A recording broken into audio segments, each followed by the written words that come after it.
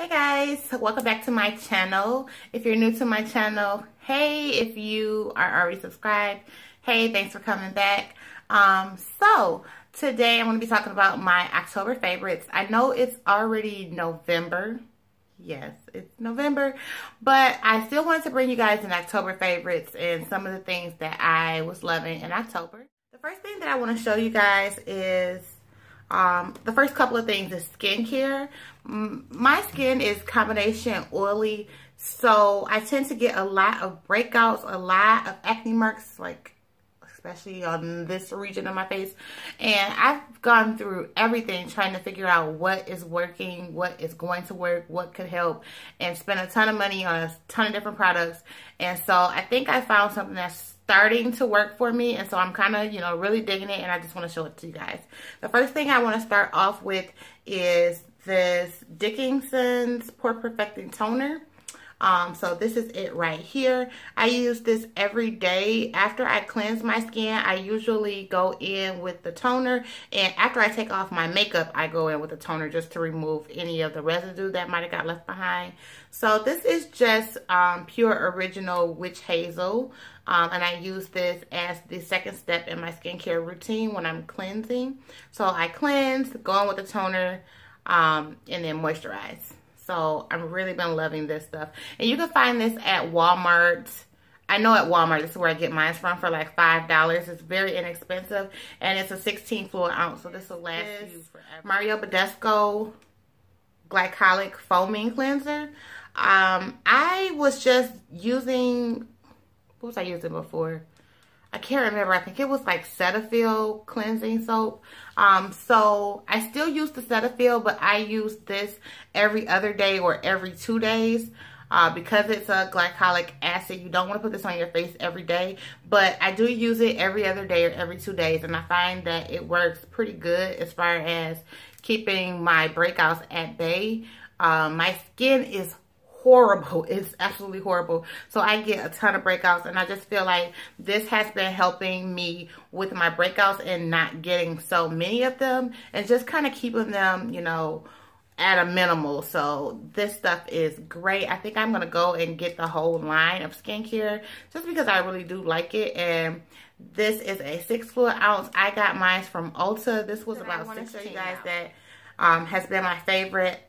I think I did a video a few weeks ago where I was talking about bronzers for brown brown skin and not being able to find any. And I was using one in one of my Get Ready With Me's. It was the Palladio. And this is the matte bronzer. This is in the color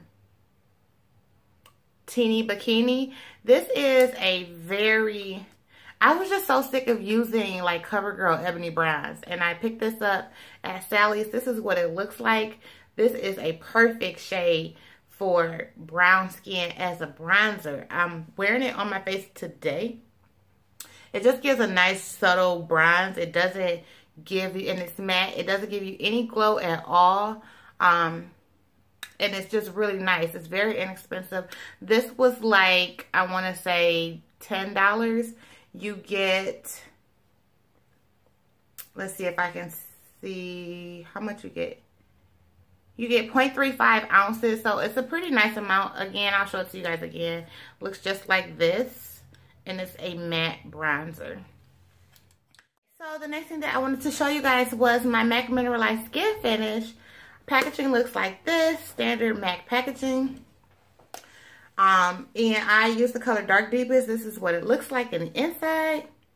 I use this just to set my face after I um, do all my makeup. This is like the last touch. This is the finishing touch. I just used this. It looks like that on my finger. And if you want to see it swatched, it blends in very well, so you really can't see the difference. It just blends in. Um, this stuff is like miracle powder. I absolutely love it. The last thing that I want to show you guys was my honorable mention because I didn't have a whole lot of Sorry if you guys hear background noise or my daughter in the background. Yeah. Sorry. So the last two things that I want to show you guys were a couple of pieces that I picked up from the um, MAC Nutcracker Sweet Collection. Now, this collection launched, I want to say last week, and they have a ton of stuff. They have lip kits, mini lip kits, lip gloss kits, eye kits, brush kits.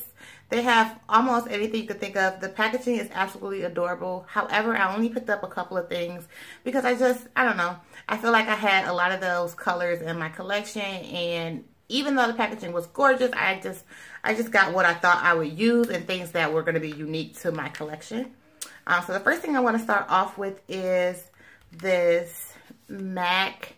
It is called a Magic Dust Powder. It looks like this. Packaging is gorgeous. It's purple with pink stars. They really did a great job with packaging this year. And inside, it has the cutest, the absolute cutest, cutest compact. Compact looks like this. It's got hot pink on the top and the front, and then in the back, it is purple, and it just says um, Mac Magic Dust Powder, and I have it in the color Sweet Vision. There was two colors of this. There was a pink one, and then there was this peachy colored one and I thought the peachy colored one was just absolutely gorgeous. It is like a pink peachy type of um, powder with like gold sheen if you can see that and it's got gold around the packaging. Isn't that so freaking cute? Um, and it just looks like this. I'll go ahead and swatch it for you guys. I haven't even swatched it. I swatched it in store. So it looks like that on my finger. And I'll go ahead and swatch it.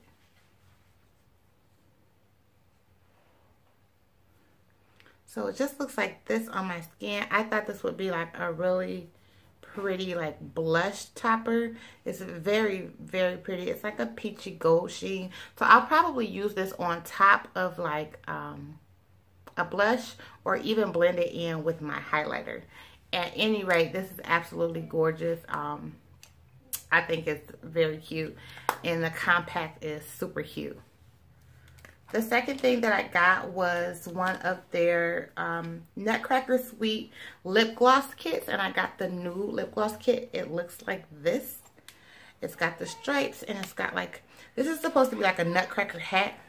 So imagine like a face underneath this. And it looks like that. Um, it has like a little gold detailing um, detailing here. And it's like a little drawer, you guys. Look how cute this is. Looks like that. So it just slides out like a little drawer. So super cute. If you were to get multiples of these, you could stack them up and make them look like a drawer. So super cute. So it comes with four different shades. And I will go ahead and if I can, I will swatch these for you. So the first shade that I'm going to swatch, and packaging looks like this. So it's just, these are cream sheens. There's three cream sheens and one dazzle glass in the nude kit. The first one that I'm going to show you guys is a cream sheen. The color looks like this. This is in the color Fashion Whim. And it's just this really pretty nudie peach color. Very, very pretty. I'll go ahead and I'll swatch it on my hand. The wine just looks like the typical doe foot applicator. And I'll go ahead and swatch it. I haven't even played with these like on the lips yet. But here is the swatch. Right here. This is, um, gosh, I can't, Fashion Whim. Really pretty nudie peach color. Perfect to go on top of like a nude lipstick or Maybe line your lips and then put it on. Second color is Pure Delight. This one is also like a nudie color, but this one has more pink tones in it, and it's got some glitter in it. This is also a cream sheen. Again, the color is Pure Delight. Same type of applicator. This is very pretty. I don't know, it just, the wine doesn't pick up a lot of color. I don't know. So this is what it looks like on my hand.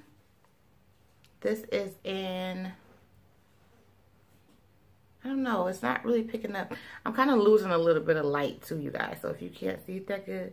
Okay, there we go. That's a little bit better. It's more of a peachy nude, I would say this is. But it has like small gold reflex in it though. The third color that I'm going to show you, this is the one Dazzle Glass in the packet. It looks like this.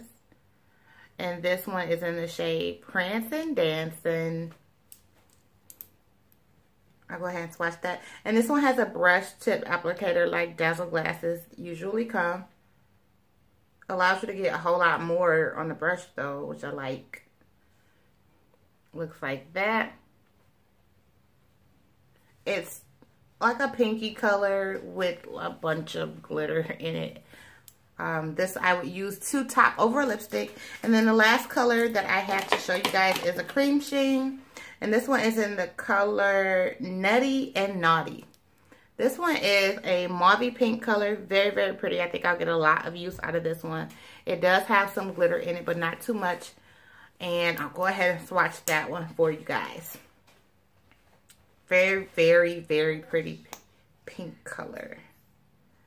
And it looks like this. So, here it is here.